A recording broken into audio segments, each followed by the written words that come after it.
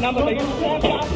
आम आदमी पार्टी नेता कुमार विश्वास के लखनऊ के प्रेस कॉन्फ्रेंस में कुमार विश्वास को विरोध का सामना करना पड़ा। इसी जगह पर बैठकर कुमार विश्वास प्रेस कॉन्फ्रेंस कर रहे थे क्योंकि 12 जनवरी को अमेठी में उनकी रैली है। शाम पाँच बजे प्रेस कॉन्फ्रेंस शुरू हुई। तकरीबन 15 से 20 मिनट का वक्त बीता होगा। तभी एक 19 साल का के लड़के ने कुमार विश्वास मुर्दाबाद के नारे लगाने शुरू किए और इसके बाद जैसा बताया जा रहा है कि उसने अंडा फेंक कर आ, कुमार को चोट पहुँचाने की भी कोशिश की।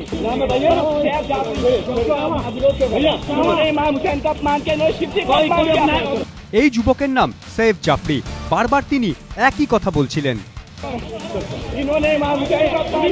যে জায়গায় সাংবাদিক বৈঠক হচ্ছিল সেখান থেকে বাইরে বেরিয়েও বিক্ষোভ দেখান সাহেব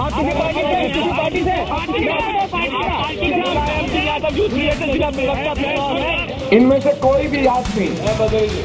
अरविंद केजरीवाल के पिताजी का नाम नहीं जानता लेकिन इस प्रदेश में जो मुखिया की स्थिति पर बैठे हुए हैं उनकी योग्यता उनके पिताजी के नाम से जुड़ी हुई है अमेठी से जो युवराज चुनकर जाते हैं उनकी योग्यता उनके गांधी सरनेम से जुड़ी हुई है कि जब मैंने कहा कि वंशवाद के सबसे बड़े प्रतीक के घर में जाकर उसके घर के लोगों के आग्रह पर एक बड़ी लड़ाई हम इस वंशवाद के खिलाफ लड़ेंगे तो आज प्रेस कॉन्फ्रेंस में मुलायम सिंह यूथ ब्रिगेड के गुंडों ने अंडे फेंके রবিবার থেকে আমেঠি সফরে কুমার বিশ্বাস তার আগে লখনৌয়ে ছিলেন আম আদমি পার্টির নেতা कीचड़ हो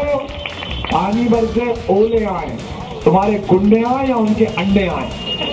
हम आज जाएंगे रैली करेंगे